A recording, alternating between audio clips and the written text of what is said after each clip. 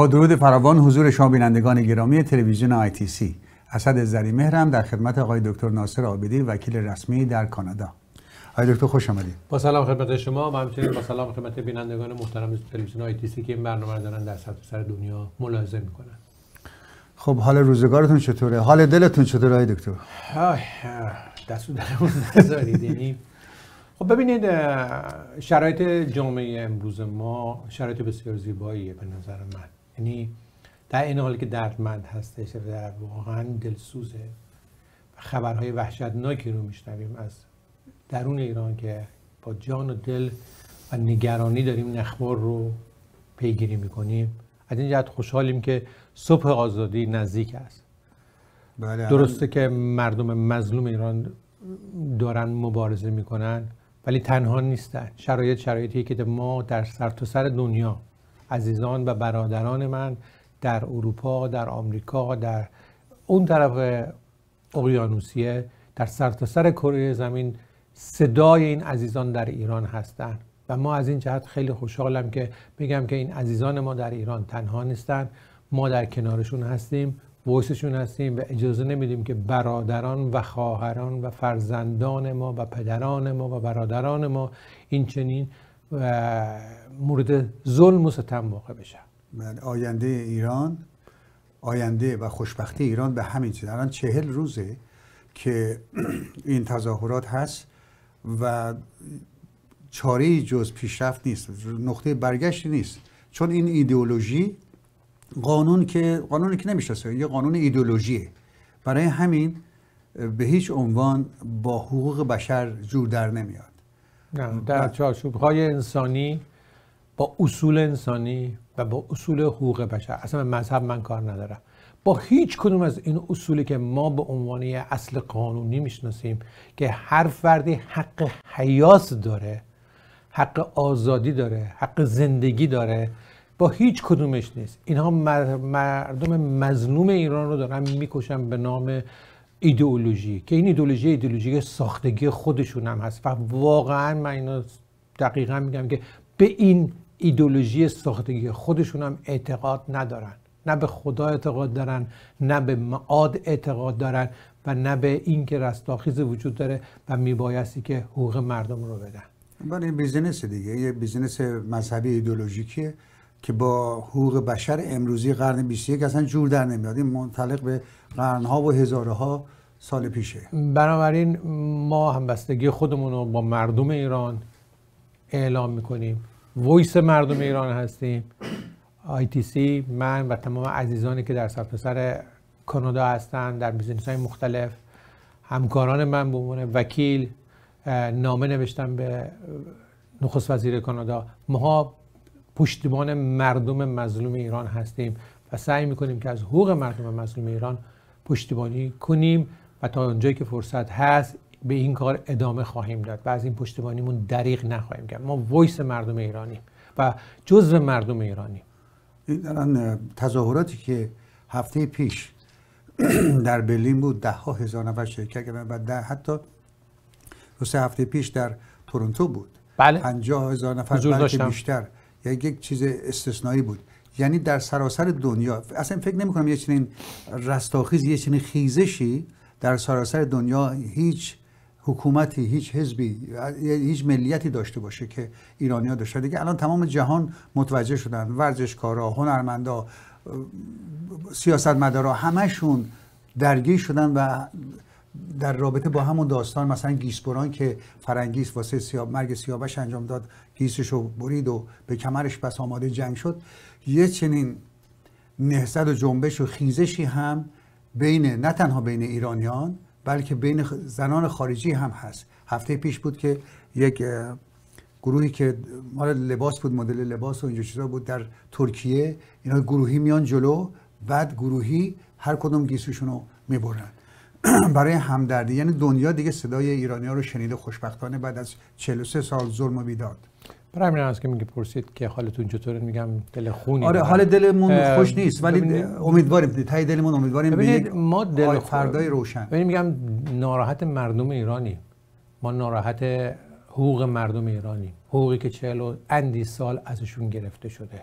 حکومت قاسبی که اومده و به مردم ایران داره ظلم می‌کنه. به ما اینجا هستیم کنار مردم ایران هستیم و در خدمت مردم ایران هستیم. و هر کمکی که در میاد همون در کانادا در حدود و قوانین کانادا اون رو انجام میدیم. این بحثی که هست و واقعا هم شرم بر اونهایی که از نظام جمهوری اسلامی دارن دفاع می‌کنن. در هر لباس در هر مقام در هر شکلی می‌خواد باشه و در هر کجای دنیا باشه. ما بله. داریم نیروهایی که در آمریکا و در کانادا هستن. همون نایاک. بله. اینها صدای و ایجنسی های جمهوری اسلامی در آمریکا و در کانادا هستن. به طب شرم بر اونها باد. شرم بر اونها بود که حقوق مردم ایران رو نادیده گرفتن برای چندر قاضی که معلوم نیست آیا بهشون وفا می‌کنه یا نه؟ بله قوانین شرعی گذاشتن. قوانین شرعی.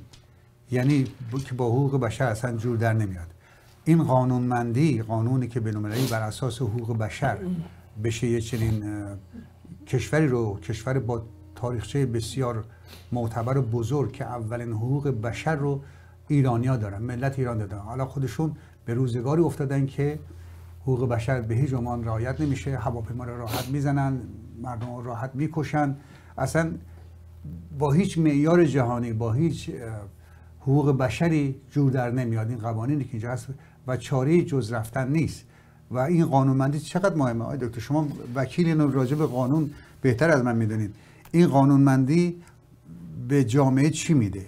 ببینید من همطور که بارها سعی کردم از این برنامه همطور که صحبت داخلیمون قبل از برنامه ضبط برنامه این بحث بود که ما در یک بار راجع به مسائل قانونی باید صحبت کنیم و و بتونیم مسائل و بتونیم ایرانیایی که در کانادا هستن و ایرانی که در استان آنتاریو هستن به ضوابط قانونی و امور قانونی تا حدودی آشنا کنیم اون چیزهای اولیه رو بهشون بدیم که اینها بتونن با این امور اولیه بتونن در جایگاهی که دارن از قوانین استفاده کنن. قانون چیز خیلی مهمیه.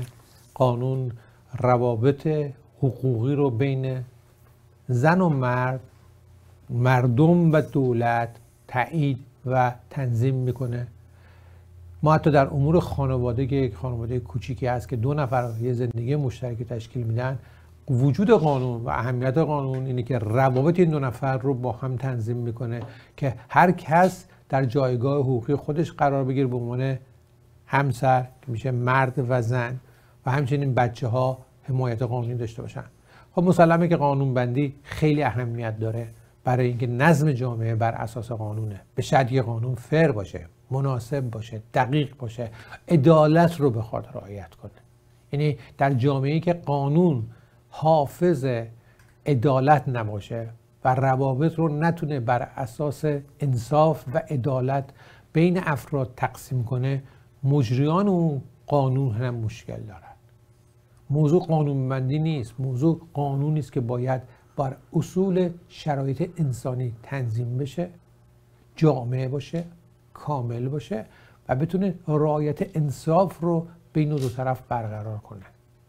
اینجا دیگه ما امروز در کانادا می‌بینیم همینه آقای زرین به نظر میاد که روابط حقوقی که ما صحبت می‌کنیم یعنی که میایم به جامعه میگیم که افراد جامعه باید تابع این قانون باشن. برای هر کار کوچیکی از خریدشون تا حضور در جامعه و همچنین فعالیت های اجتماعی سیاسی که می‌کنن و پشتش هم این که اگه بخوان در سمت های مختلف به عنوان یک شهروند بخوان مسئول یک کاری باشن روابط یک کاری رو به عهده بگیرن مقامی داشته باشن و مسئول باشن. آی دکتر آی دکتر مشکل اینجاست که اینا قانونگذارا خودشون رعایت نمی‌کنن. اصل 23 قانون اساسی ایران میگه هر کسی در عقیده خودش آزاده. ولی زندان ها پر از کسانی است که عقیده سیاسی دارن شما می‌تونید راجع به هر چیز صحبت بکنه ایراد بگیرید غیر از من. این که نمیشه که.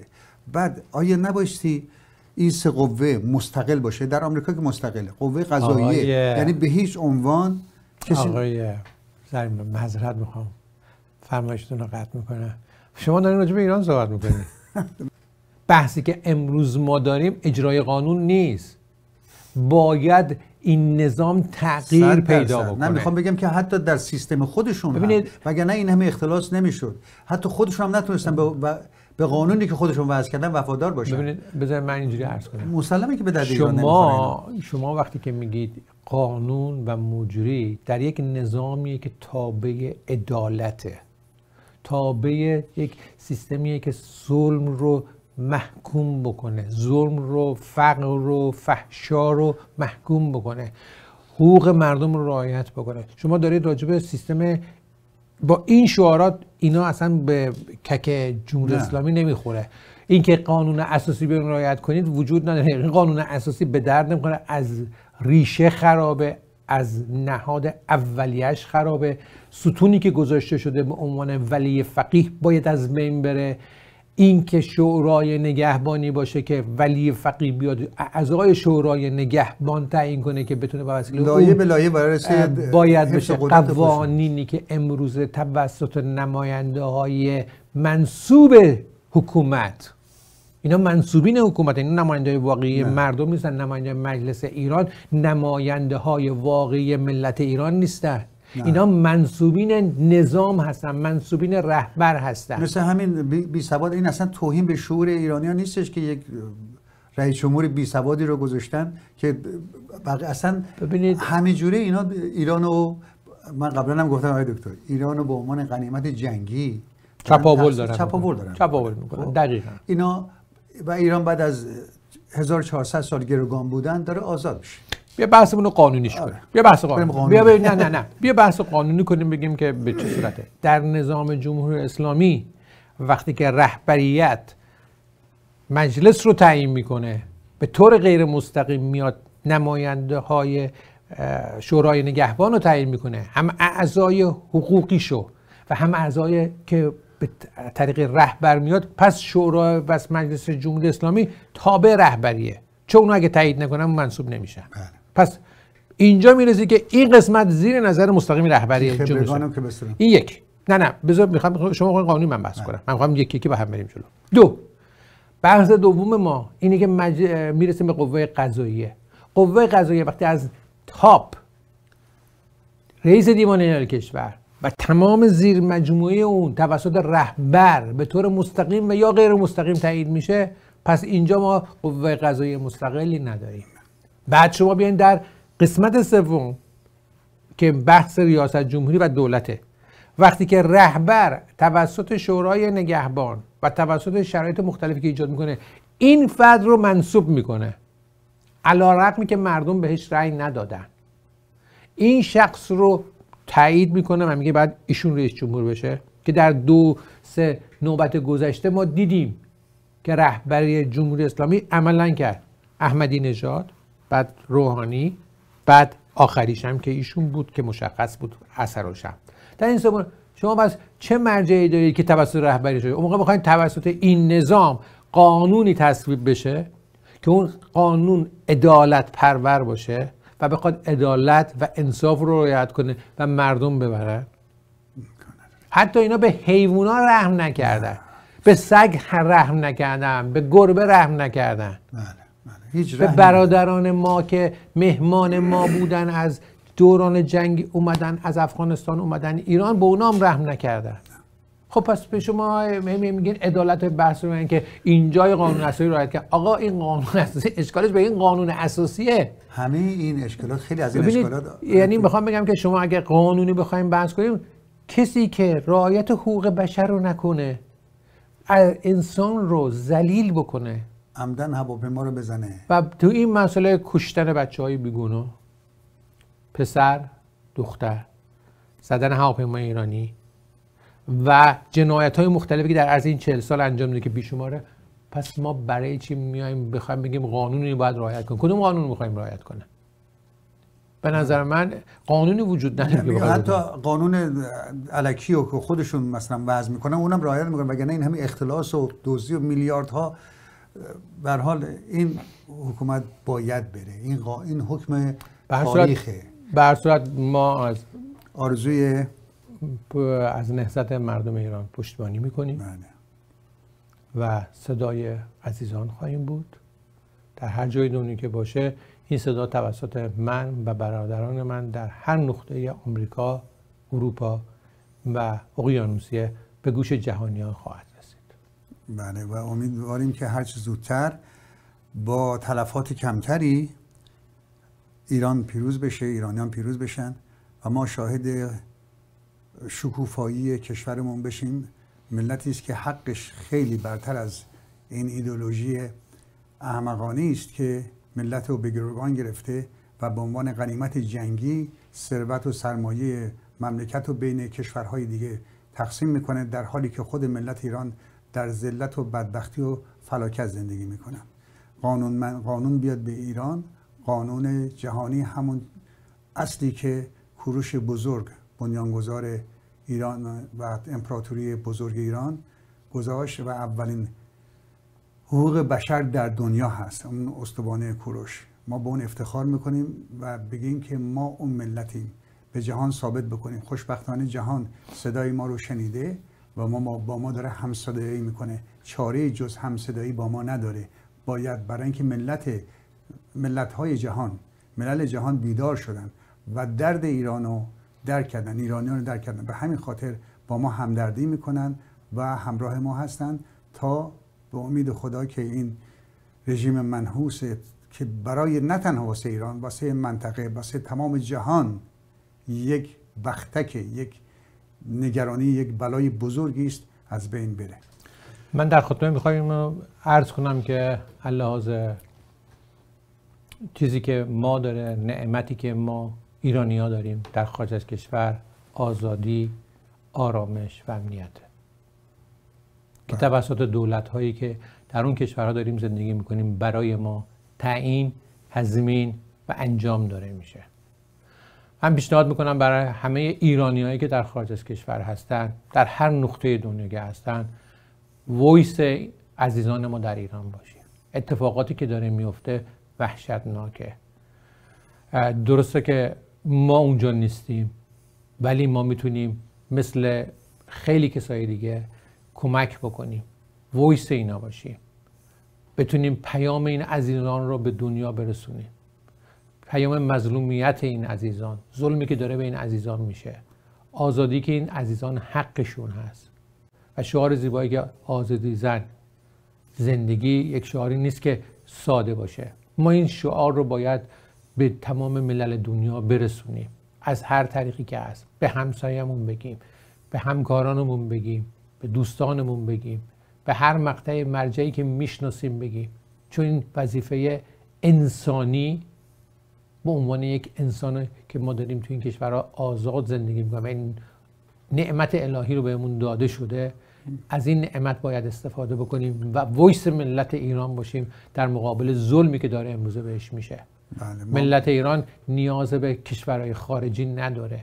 خودش با تکیه به خودش و با تکیه به خدای بزرگ می‌تونه از پس این ضد خداها ضد خداها بر بیاد بله این ما صدای برای همینی که ایرانیانی که خارج از کشور دارن زندگی می‌کنن از این آزادی و نعمت آزادی برخوردارن. به همین خاطر می‌خوان که هموطنانشون در ایران به همین از چنین نعمتی برخورده باشن. برای همینی که این شعار همین زن زندگی آزادی رو گذاشتن و این شروین که اینو آهنگ خون برای رو اصلا جهانی شده و صدها میلیون بار دیده شده.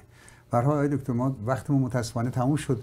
ولی گفتنی هایی بود که میبایستی گفته می‌شد و ما هم گفتیم و ادامه خواهیم داد باز هم خواهیم گفت نشون خواهیم داد و در هر قدمی که هموطنان ما در خارج از کشور برمیدارن در راستای همفکری و همکاری با هموطنانمون در داخل ایران باید این کار بکنیم. این یک وظیفه ملی و انسانی است وظیفه ملی و انسانی است حال از شما سپاسگزارم دکتر.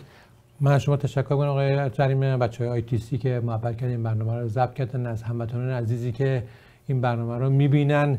تشکر می‌کنم و تشکر بسیار زیادی رو دارم از هموطنانی که بتونن ویس هموطنانشون در ایران باشن و پیام آزادی رو برای ملت بخوان به نمایندگان مجلسشون یا نمایندگان ایالت یا استانی که هستن لطف کنم این پیام رو برسونن نامنگاری کنن ایمیل بزنن و درخواست بکنن که صدای مظلومیت ایران رو به گوش اونا برسونن و ازشون بخوان که هر اقدامی که قانونی هست و در چارچوب کشور قوانین اون کشور و در قوانین مرزهایی که اون کشور داره و می‌تونه کمک بکنه به ملت ایران کمک بکنن. این رو صمیمانه عاجزانه به عنوان یک هموطن ازتون می‌خوام که این کار رو بکنید. شاید اقدامات ما بهتر بتونه این جنبش رو به گوش جهانیان برسونه و زودتر به پیروزی نهایی برسونه عزیزان. بله با سپاس از شما به امید آزادی و آبادی و سرفرازی کشورمون. با سپاس از شما که این برنامه رو نگاه کردیم تا برنامه بعد خدا نگهدار. خدا حافظ